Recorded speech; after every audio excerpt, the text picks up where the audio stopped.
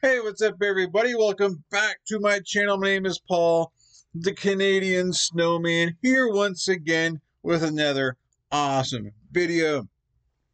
We just did Magellan.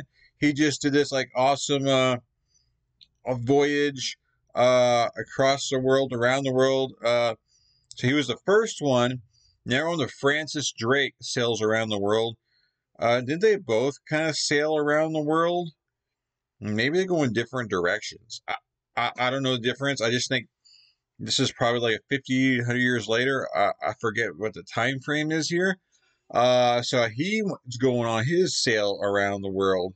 I'm expecting a different route, but I, I don't know. I don't know what to expect, to be honest. Uh, the first Magellan, I mean, he lost like 90, over 90% of his crew like that's pretty insane, man.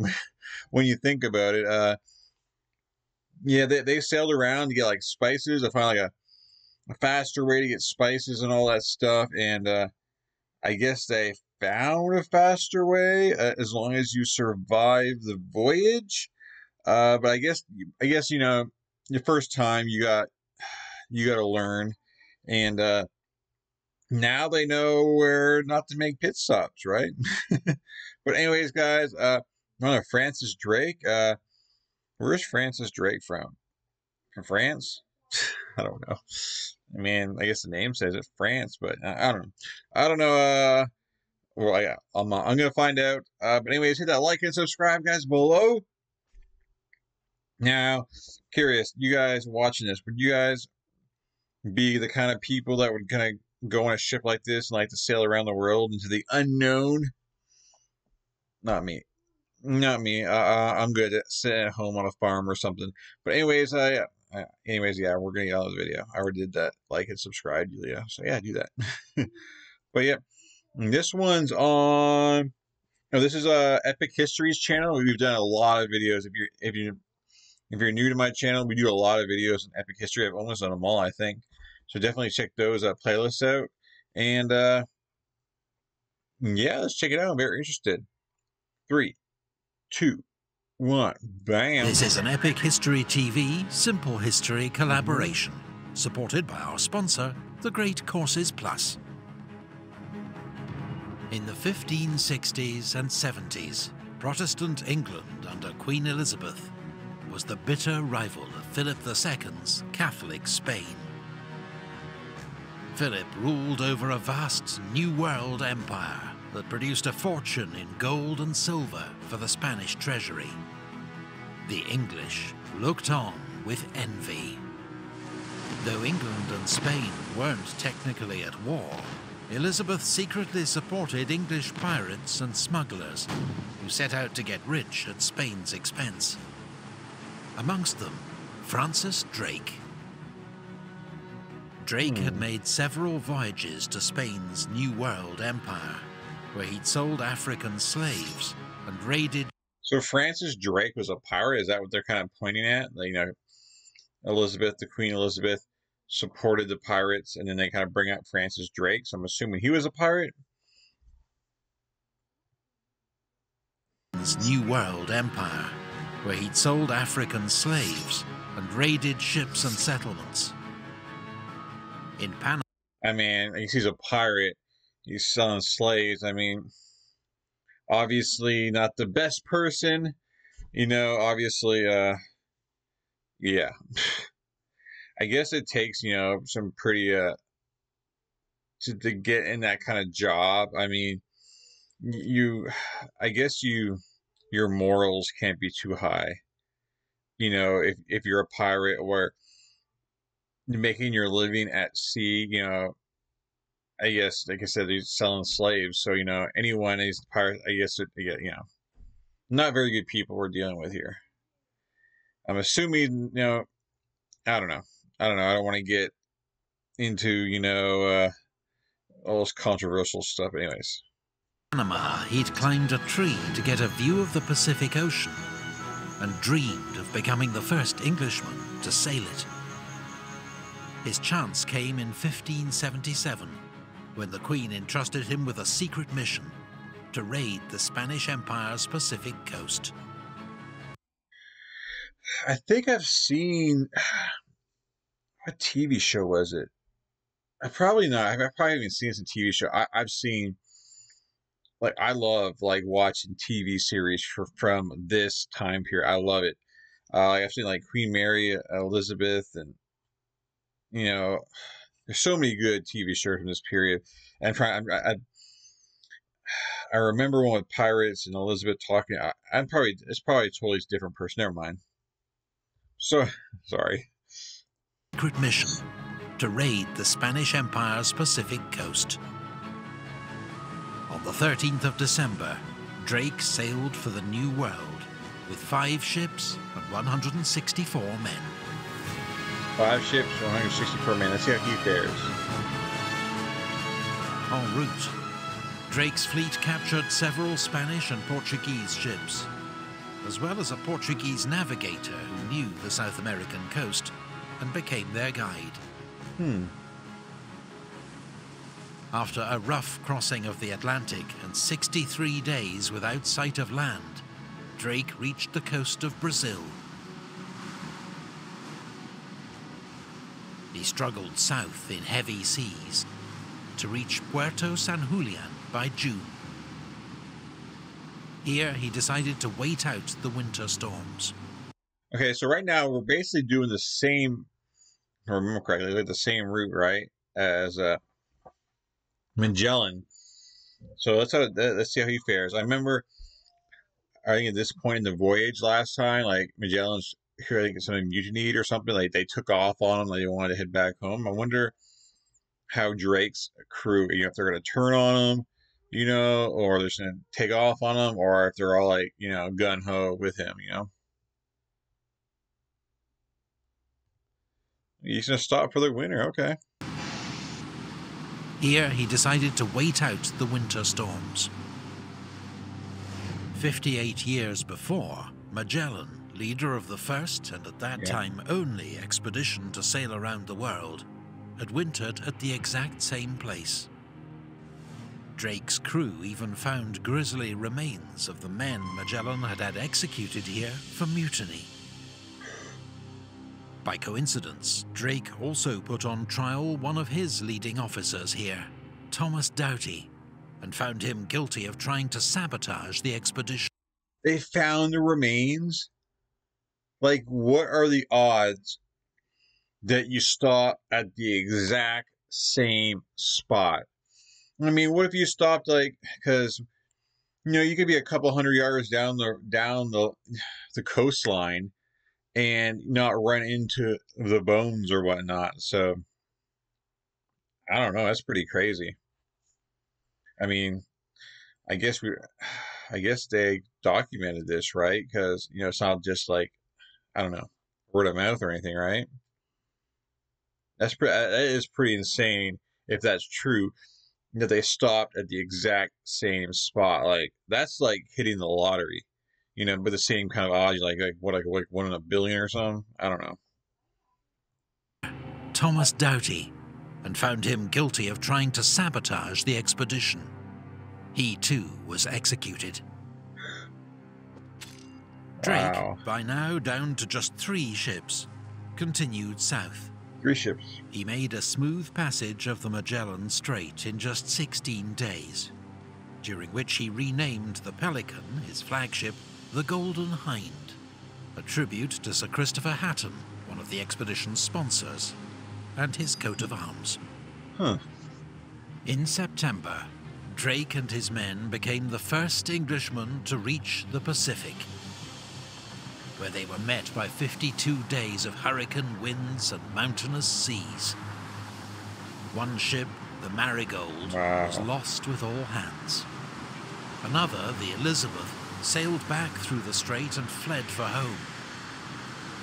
Only the Golden Hind was left, driven south towards Cape Horn and into the world's roughest seas. Dang, one ship left, man. He had no better luck than Magellan did. Uh, if there's a third trip around the world, uh, if you if you're the crew, I think you'd want to do your homework because the odds of you surviving are apparently very slim. wow, man. Obviously, obviously we know he makes it because or else we don't watch this video right now. But damn, like how many survive this one? Europeans believed a great southern continent lay in this region, but Drake saw only more ocean. There was no southern continent here, but there was an open sea route around the tip of America, one which would later bear his name. Huh. Great pass. The winds eventually eased, and Drake sailed north, hoping to barter for supplies with local tribes on Mocha Island. But they mistook Drake's men for the hated Spanish and attacked. Two of Drake's men were killed, and he himself was badly wounded. Dang. Despite this setback, Drake had now arrived. I mean, it makes sense to think they're Spanish. I mean, they speak um, they speak different language language in the Spanish, but I'm sure the, the locals probably still don't understand what they're saying, and they probably come, you know, a similar looking ships, probably you know similar armor, you know, so it, it makes sense, you know, and that you think that they're the enemy, you know, even though they're not. But you know, I don't know. It's a dangerous world out there, man. You gotta defend yourself, especially against the unknown. Despite this setback, Drake had now arrived at the Spanish Pacific coast, which was virtually unguarded and had received no warning of his approach. It was the start of one of the greatest robbing sprees of all time. Oh, yeah? First, he hit the Spanish port of Valparaiso, where he took Chilean gold and wine. Then Arica, where he seized 40 bars of silver. At El Callao, he robbed every ship in the harbour. But more valuable than any loot, he was told that the Spanish treasure ship Nuestra Senora de la Concepcion had sailed north just two weeks before. Drake set off in pursuit. Oh, yeah? Overtook the Spanish galleon off the coast of Ecuador. The Spanish crew had no reason to fear an English pirate in the Pacific. Such a thing was unheard of.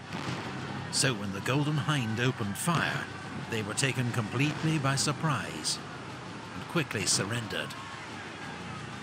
In the galleon's hold, Drake's men found 36 kilos of gold, 26 tons of silver, 13 chests of silver coin, jewels, and a golden crucifix.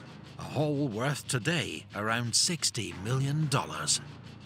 Wow. The Golden Hind, using Peruvian silver for ballast, continued up the coast, stopping off to raid Huatulco. Well, I thought they were going to say that they had to take the ship because, yeah, like they've been raiding. I mean, maybe, thought maybe they would have like, too much weight in their ship to carry it all. Like, I guess not. I guess not. But damn, I, I don't know. I still, I mean, you have that much money on your ship, and you see a kind of different country's ship coming at you. I mean, I mean, all men on deck, man. I, think that you'd be ready for something, you know. You'd be very skeptical, I would think, you know.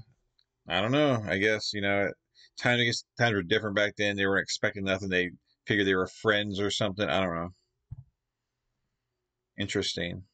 Wow, man, he's making bank. Ballast continued up the coast, stopping off to raid Huatulco in modern Mexico for supplies. For the last few months, Drake had been desperately hoping to rejoin the Marigold, unaware of her destruction in the Southern Ocean. Oh, damn. Now he was forced to accept that the ship and his comrades were lost and headed up the Pacific coast hoping to find a theoretical northwest passage back to the Atlantic and England. Drake may have sailed as far north as Vancouver Island before giving up and returning to land in California. which he named Nova Albion, New Britain, and claimed on behalf of Queen Elizabeth. The English Huh. were welcomed by local Miwok Native Americans. The English thought they were being welcomed as gods. But it's possible that with their pale faces, they were instead seen by the Miwok as ancient spirits returned from the dead. Drake's men spent five weeks making repairs to the Golden Hind because they knew there was now only one way home. The Spanish in South America were on high alert. And if a Northwest Passage did exist, Drake had failed to find it. So he would sail west. I'm guessing it, the cold. I'm guessing the cold kind of turned him away because he got to Vancouver. I mean, it's alive. I mean, it's still nice in Vancouver, you know, right now. Uh, but I guess he didn't want to go too far from home. He's like, okay, we've been far enough, you know. We don't want to go too far where, you know, you know, we don't get, and we run out of food or supplies. I don't know. But yeah, good thing he stopped because there, there is no way they because you know there's really no passage up there right now. Eventually, you know, when the as the temperature rises and the passage, you know, North Canada, you know, starts to melt a little bit, there will be a passage through there. But uh obviously back then there wasn't. So and even today, I think that kind of ship would never make it through there. So yeah, I think it was a pretty smart move to turn around right there. Drake had failed to find it. So he would sail west, across the vast Pacific Ocean, and circumnavigate the Earth in order to get home. Drake set sail on the 23rd of July, 1579. For 68 days, they had no sight of land, but then finally reached Palau, and then the Philippines. like 68 days at sea, you know that they were probably starving. You're like, you're probably with all their provisions and just mostly water. They didn't say that people died going through there, so I guess they all survived, whoever was on that ship. But to finally see land, like, you probably break down in tears just to, like, you know, because you probably think, oh my God, we're going to die out here. There's no land. But, you know, that must have been pretty epic to see, you know? and then the Philippines.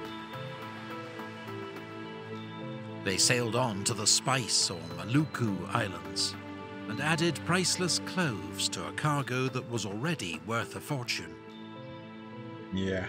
But as the Golden Hind set off for home, disaster struck. Uh oh. Beyond sight of land, in deep water, the ship suddenly hit a reef and stuck fast. The sailors thought they were doomed. They threw cannon and some of their priceless cargo overboard to lighten the ship and prayed to God. Twenty hours later, in what seemed to Drake's men a miracle, winds and tide lifted them off the reef. Wow. The Golden Hind continued to thread its way through the islands of Indonesia. And after a two week stop in Java, Drake set sail across the Indian Ocean. In June, he rounded the Cape of Good Hope and put in at Sierra Leone for fresh supplies. Without further incident, he reached Plymouth on the 26th of September 1580 with 59 surviving crew. 59. His cargo of gold, silver, and spices made a fortune for Drake and the investors in his voyage. Their return was an estimated 4,600%. Queen Elizabeth was one of those to profit handsomely from his success. Following year had Drake knighted aboard the Golden Hind in London. Wow. Drake's remarkable voyage made him the first Englishman to circumnavigate the globe. He would go on to win even greater fame with a leading role in the defeat of the Spanish Armada eight years later. Huh. Sir Francis Drake today remains one of England's greatest naval heroes. Wow. Drake's daring expedition is part of a story of human exploration that goes right back into prehistory. If you want to find out more, why not start a free trial with the Great Courses Plus? A fantastic on-demand video. Okay, I'm guessing that's it. Is the rest of this is commercial? Yes, the rest of it's commercial. Wow. Yeah, he had a lot a lot higher success rate there at the end though. I mean he basically had a lot higher success rate. I mean yeah, 48 people survived at almost two, two it was almost 200, so let's just say he had like a 30% surviving rate. So it was like over three, three or three to four times better surviving rate than Magellan, and I'm guessing he got he came back with a lot more money, man. Like he didn't come back with spice. I mean, probably probably came back with a little bit of everything, but man, he got a lot of money, man. Those men got paid. I hope those uh the sailors uh that went with him. I, I sure hope they gave them them a good big cut of that money to where they didn't have to like sail again for like the rest of their lives. Like they better got like here gave them a sack full of coins there or something to where they didn't have to, you know, suffer or rely on anything again after all they had been through there. That's crazy. You know, back then, you know, like, and after that, you know, when there's pirates, it's like the Wild West of the sea, pretty much, right? It's like every man for themselves. Everyone's just, you know, you, you need the best men, you need the best ships, I mean, the best guns. I mean, you can make a killing out there. But yeah, definitely very interesting, and I don't know. I enjoyed this little like I guess break between war movies because this was a war, but you know it. I don't know. I think it it does put things in more of a perspective. You know, it shows just how big the world is. I know, like most of my videos are probably kind of taking place in Europe and you know the Middle East and like you know Asia area, but like just that, you know, just uh the visuals of him kind of going around the world just shows you how big the earth is and how like you know kind of small our little world that we kind of live in and take to our history like right now we're like doing like europe and middle east like that's just like a very small percentage of the globe that we kind of concentrate on uh I mean, most of this because that is because it, it's documented. I mean, like we don't really have. I guess there's. I guess when it kind of comes to like I guess so. I don't know, like how I guess South America and Africa not as documented. I mean, I don't know. I mean, cause just because I don't, I don't know. Maybe that's why you know there's just not as much history done on it, or I guess there's not as much interest. I don't know. Uh, but anyways, guys, please hit that like and subscribe button below. I hope you enjoy this video. Um, I'm not sure what we're doing tomorrow. You got to check back to see. And yeah, I'll catch you guys in the future. It's always a blast always like having you guys along with me. You guys are amazing. I love you. And uh, I definitely uh, am expecting greater and uh, more awesomer stories to go along. And yeah. And that crazy sea captain one that you guys keep suggesting, I'll get to. I'm not going to get to it right now, but I will end up getting to it. I guess almost I don't want to do another sea voyage one right now. I just did two back to back. This little two part series, so I don't want to do another one right now. I mean, down the line, I definitely will do it. I just didn't want it all tighten it close together, you know. It's kind of it kind of gives it a little break from the regular war videos, I guess, kind of thing. So, you know, you know what I'm saying. You know what I'm saying. Because I, I, love everything we do here. You know, sometimes you just gotta switch it up a bit. You know, just to change uh change the pace and all that good stuff. But um, yes, like I say, thanks again. Hit that like and subscribe. Uh, and yeah, I'll definitely catch you guys in future videos. Um, yeah, peace. You guys have a great night, great day, and yeah, I'm out of here.